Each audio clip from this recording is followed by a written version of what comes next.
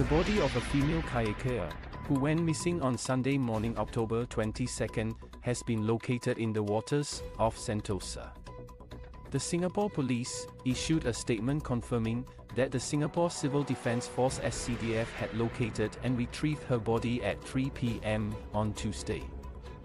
A body was found and retrieved from the waters off Sentosa Island by SCDF on October 24 at 3 p.m.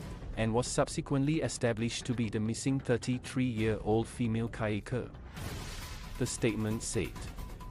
Based on preliminary investigations, the police do not suspect foul play. Police investigations are ongoing.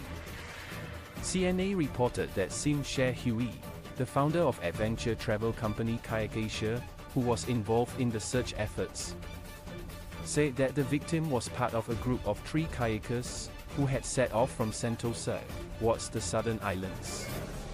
A fourth kayaker encountered the group during their journey and decided to join them.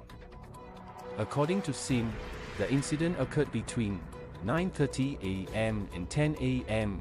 when two group members, a man and a woman, capsized in the vicinity of some blue floating security barriers.